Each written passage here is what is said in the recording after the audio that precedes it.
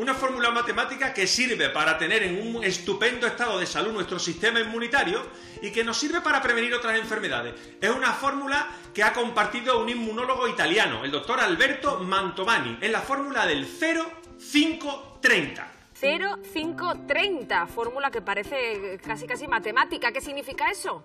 Vamos, al menos no sé si matemática, pero fácil de recordar seguro. Cero de cero tabaco. Debemos no fumar. El tabaco produce daños inflamatorios en el pulmón y sabemos que produce múltiples enfermedades. En el caso del coronavirus, además, sabemos que aumenta el riesgo de desarrollar enfermedad grave. Así que no fumar, cero tabaco es el primero de los consejos. Cero tabaco, perfecto, eso es fácil de cumplir. Vamos a por lo segundo, el 5, ¿qué significa? El 5, algo que habrás oído alguna vez en nuestro programa. 5 raciones al día de fruta y verdura fresca. Alguna vez lo hemos escuchado seguro, Miriam. Fundamental, la esencia de nuestra famosa dieta mediterránea. Fundamental para, insisto, prevenir muchas enfermedades y también para el normal funcionamiento del sistema inmunitario. 5 raciones al día de frutas y verduras.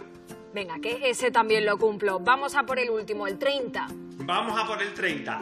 30 minutos diarios mínimos de ejercicio físico. Mantenerse en forma, hacer ejercicio físico, moverse. Moverse que es salud para nuestro cuerpo y también para nuestra mente. Y también, por supuesto, para el normal funcionamiento del sistema inmunitario. Pero te digo una cosa, Miriam.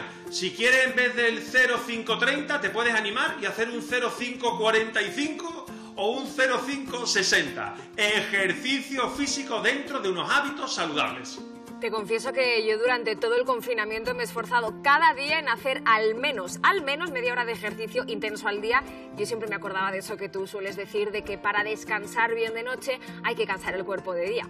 Es que descansar es fundamental y el ejercicio físico efectivamente es una de las claves para conseguir un buen descanso nocturno, porque mantenemos en movimiento nuestros músculos, luego estos músculos requieren ese descanso y hace que el sueño sea más reparador y profundo. Hay que descansar bien tampoco evitando obsesionarnos, ¿eh, Miriam? Que hay mucha gente que le obsesiona mucho el número de horas. Es que no consigo dormir siete horas en la noche o seis horas.